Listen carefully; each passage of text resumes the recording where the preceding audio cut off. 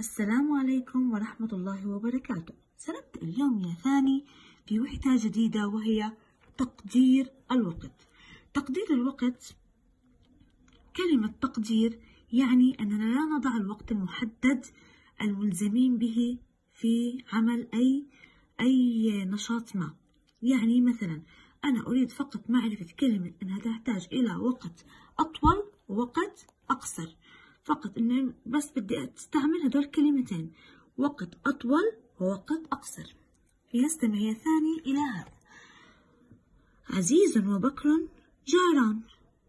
يأتي عزيز إلى المدرسة راكبا سيارة. راكبا سيارة والده. أما بكر فيأتي إليها ماشيا.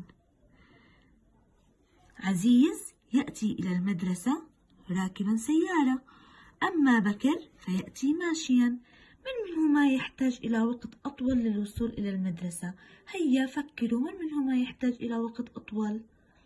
أحسنتم. بالطبع عزيز هو الذي يحتاج آه عفوا بكر هو الذي يحتاج لوقت أطول. يحتاج وقت أطول لأنه يأتي ماشيا لأنه يأتي ماشيا.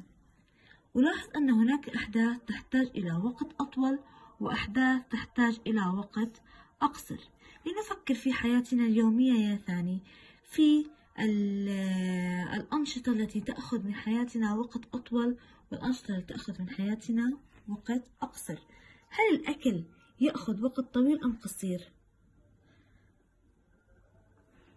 قصير من منهم الذي يحتاج وقت وقت أطول؟ الأكل أم آه، غسل الأسنان أو تنظيف الأسنان أم الدراسة؟ من منهما يحتاج إلى وقت أطول؟ بالطبع الدراسة هي التي تحتاج إلى وقت أطول. أريد منكم يا ثاني تقدير الأوقات ووضع إشارة صح أمام الحدث الذي يحتاج تنفيذه إلى وقت أقصر.